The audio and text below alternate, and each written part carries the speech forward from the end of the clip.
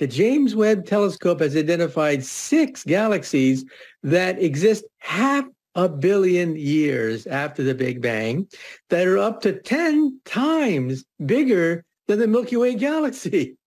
That should Have you ever wondered how much we really do know about the universe's beginnings? Michio Kaku, a renowned scientist, has made a surprising announcement. The James Webb Telescope may have disproved the Big Bang Theory. The telescope has recently uncovered extremely enormous galaxies, the finding of which begs the question, how did they grow so rapidly? Join us as we dive deeper into this remarkable discovery and the consequences it could have for our knowledge of the cosmos. So get ready to have your mind blown. NASA's new Super Space Telescope was designed to look back in time and provide clues about how the universe came into existence. In less than a year, James Webb has already shown us some extraordinary images, but now it is making us question what we thought we knew about how galaxies formed. On its first look at the faraway universe, the $10 billion telescope saw something that wasn't meant to be there. So what is the discovery that has scientists baffled? Even Michio Kaku has talked about this new finding. First, let's look at what was found and then hear what Michio Kaku has to say about it. A new study released in February said that the James Webb Space Telescope found six huge galaxies that formed soon after the Big Bang. These galaxies surprised scientists because they formed much faster than we thought they would. Since it started working last July, the Webb telescope has been able to look farther than ever before into the far reaches of the universe, which also means it is looking back in time.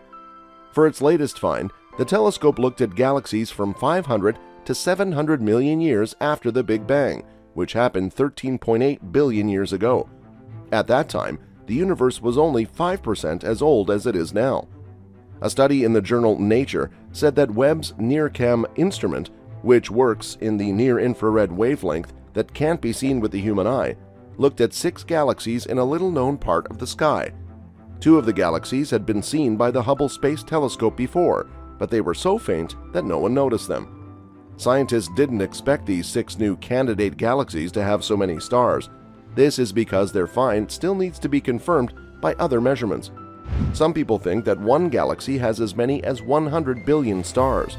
That would make it about as big as the Milky Way, which is crazy according to Ivo Labbé, the first author of the study.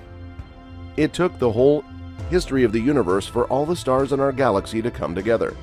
Labbé, a researcher at Australia's Swinburne University of Technology, said that this young galaxy would have had to grow about 20 times faster than the Milky Way to reach the same size in 700 million years. If there were such big galaxies so soon after the Big Bang, it would go against the current cosmology model, which is the best way for scientists to explain how the universe works. According to the theory, galaxies grow slowly from very small beginnings at early times, Labbé said, adding that such galaxies were predicted to be between 10 and 100 times smaller. The James Webb Telescope looks deep into space and time, getting closer to the Big Bang. But the sizes of these galaxies really go off a cliff, he said. What might be happening? Dark matter, which makes up a big part of the universe and is still a mystery, is one possible cause. Even though scientists still don't know a lot about dark matter, they think it is a key part of how galaxies form. Labbé said that when dark matter clumps into a halo, it pulls in gas from the rest of the universe, which then makes a galaxy and its stars. But this process is thought to take a long time, and there just aren't that many clumps of dark matter in the early universe, he said. What is more surprising is that the model is cracking. The newly discovered galaxies could indicate that things moved far faster in the early cosmos than previously thought, allowing stars to form much more efficiently according to David Elbaz, an astronomer at the French Atomic Energy Commission who was not involved in the research. He also said that this could be linked to new signs that the world is expanding faster than we thought. Elbaz said, This topic is hotly debated among cosmologists, making this latest discovery all the more exciting because it is one more indication that the model is cracking. Scientists like Elbaz are working on the European Space Agency's Euclid Space Telescope, which will join Webb in space when it launches in July.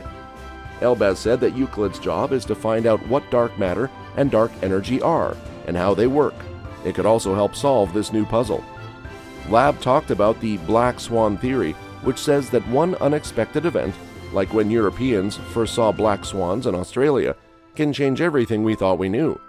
He called the galaxies six black swans because if even one of them turns out to be true, we'll have to change our ideas. Later in April, the James Webb Space Telescope uncovered the four most distant galaxies ever spotted, one of which originated just 320 million years after the Big Bang when the cosmos was still in its infancy. Since it became operational last year, the Webb telescope has released a torrent of scientific discoveries, peeking further than ever before into the universe's furthest reaches, which also means it is looking back in time. By the time it reaches Earth, light from the most distant galaxies has been stretched by the expansion of the universe and moved to the infrared section of the light spectrum. The NIRCam sensor that is housed in the Webb telescope possesses an incredible ability to detect this infrared light. As a result, it is able to rapidly find a number of previously undetected galaxies, some of which could potentially alter how astronomers understand the early universe. In two publications that were just published in the journal Nature Astronomy, astronomers made the announcement that they had unambiguously detected the four most distant galaxies that have ever been observed. The formation of galaxies occurred between 300 and 500 million years after the Big Bang, which occurred more than 13 billion years ago when the age of the universe was only 2% of what it is now. That means the galaxies are from the epoch of reionization, when the first stars are thought to have formed. Immediately after the cosmic dark ages that were generated by the Big Bang, the period in question began. According to Stéphane Charlot, a researcher at the Astrophysics Institute of Paris, who is also a co-author of the two new studies, the JADES-GS-z13-0 galaxy was created 320 million years after the Big Bang. According to him, this is the farthest distance that astronomers have ever measured. In addition, the Webb telescope was able to verify the existence of that galaxy, which was originally identified as existing by the Hubble Space Telescope 450 million years after the Big Bang. According to Charlot, each of the four galaxies weighs approximately 100 million times the mass of the Sun, making them very low in mass. The weight of the Milky Way is estimated to be 1.5 trillion solar masses, according to some sources. According to Charlot, on the other hand, galaxies are very active in star formation in proportion to their mass. He said those stars were forming about as fast as the Milky Way, which was surprising so early in the universe. He added that the galaxies were extremely metal poor. This is consistent with the standard model of cosmology, which predicts that the closer one is to the moment of the Big Bang, the less time there is for certain metals to originate in the universe. Some scientists have begun to challenge the validity of the traditional model of the universe after the discovery in February of six enormous galaxies that existed between 500 and 700 million years after the Big Bang. An astronomer from Yale University named Peter Van Dokkum, who was not involved in the new study, referred to the confirmation of the four newly discovered distant galaxies as a technical tour de force. Van Dokkum stated in Nature that the frontier is shifting almost every month, adding that there were now only 300 million years of unexplored universe history between these galaxies and the Big Bang. According to him, the Webb telescope has found what are thought to be galaxies that are significantly closer to the time of the Big Bang. However, these findings have not yet been verified. While if we look at what Michio Kaku says, things are a bit different. If the universe is only 500 million years old, as Michio Kaku claims, there shouldn't be any primordial galaxies bigger than the Milky Way. Something isn't right. We may need to alter our idea of the universe's creation, and so we may be gazing at a cosmos that is much older than we believe, or we may be looking at an optical illusion. Are those the only two options? Yes, some individuals believe it is an optical illusion. According to Einstein, gravity can behave like glass. Of course, gravity may be used to create a magnifying glass as well as to bend space and time to create a gravity microwave. You might think these galaxies are big because Kaku means magnifying lenses, but they're actually newborn galaxies.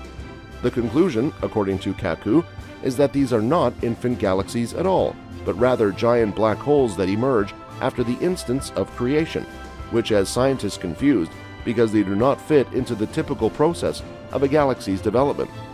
He believes we are staring at massive black holes where new rules of physics may be emerging, and that if you can figure out how to solve all of this, you may be eligible for a Nobel Prize. According to one theory, These galaxies that appear to be galaxies are actually black holes, because we believe that at the center of our own Milky Way galaxy is a raging black hole that is 2 to 3 million times more massive than our Sun, and we now believe that at the center of almost every galaxy in the universe is a monstrous black hole that could be millions to billions of times more massive than our own Sun. But what's under our feet? How come we don't know what's in the center of the Earth after visiting the Moon, Mars, and Jupiter? Here's an idea. Consider a sonogram. An ultrasound transmits vibrations into a pregnant woman's womb, resulting in echoes that may be processed to form a picture of the unborn child. We can now consider sonogramming the Earth because an earthquake generates all kinds of vibrations that echo ricochet inside the Earth, allowing us to recreate an image of the center of the Earth and discover some enormously interesting things, such as the fact that the core of the Earth spins, but the Earth's crust can spin in the opposite direction. So these layers beneath our feet can actually rotate in opposite directions, and we used to think there were four layers inside the Earth like the crust and the mantle, four layers inside the Earth. Recently we picked up evidence of a fifth layer at the very center of the Earth, so we're now basically sonogramming the Earth, and maybe one day we'll be able to use artificial intelligence and supercomputers to tease apart these echoes so that we can get a better understanding of the Earth. We're not there yet, but consider this. If we could somehow take these echoes, run them through a computer, make a map of the inside of the Earth, and anticipate when the next earthquake will occur, we could tell the falsehoods of thousands of people. He believed that the people of California would welcome the day when we would forecast earthquakes. Earthquakes are nearly like ultrasounds right now, and all we need is the technology to capture the image from that ultrasound to truly understand what's in the ground and how to predict earthquakes in the future. Is that correct? That's correct, and we used to dismiss seismic shaking as nonsense. They're extremely complicated, yet they can handle anything thanks to supercomputers and artificial intelligence. He believes that supercomputers and AI will allow us to understand all of these echoes and calculate the tension on the San Andreas Fault and many other fault lines allowing us to anticipate earthquakes. This is not ruled out, but he believes that with supercomputers and AI, we will be able to understand the echoes inside the Earth, giving us a snapshot or sonogram of the Earth itself. As we come to the end of this great revelation, we encourage you to stay tuned for more news on the James Webb Space Telescope and its incredible discoveries.